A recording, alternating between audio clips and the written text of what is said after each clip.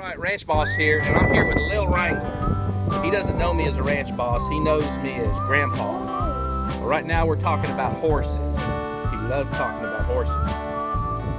Last night he had something for me. We were playing, and he had my cell phone in his hand, and he went to show it to me up close and personal, and he gave his grandpa a nice shiner.